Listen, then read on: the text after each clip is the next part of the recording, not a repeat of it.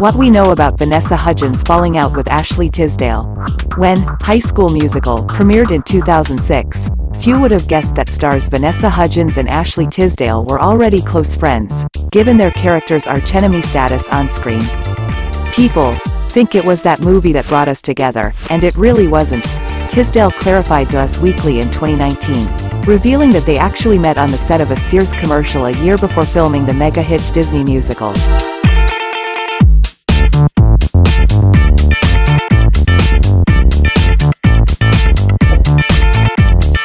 She added, from that day on, we were super close.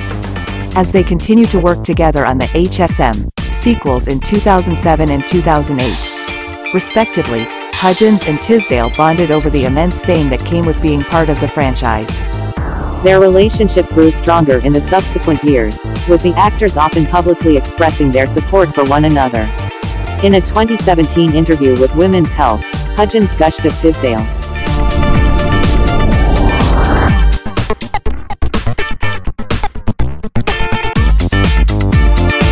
She's one of those girlfriends who will be my friend forever. Just two years later, her former co-star echoed the sentiment during a chat with Toofab, noting that their friendship was not typical in the industry, serving as the ultimate testament to its authenticity.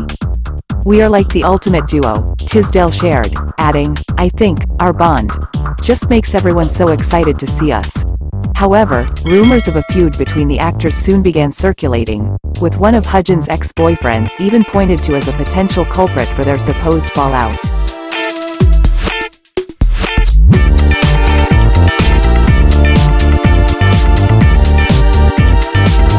Vanessa Hudgens famously dated Austin Butler, known for his Oscar-nominated role in Elvis, for nearly nine years, and, interestingly, Ashley Tisdale played a role in bringing them together.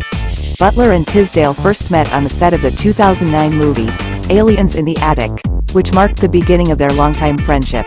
Two years later, he and Hudgens were spotted together, for the first time as a couple, at Tisdale's sister's birthday party. That's what we can report. Thank you for watching this news. Don't forget to help this news office channel by liking comments, sharing and subscribing. We thank you for your support.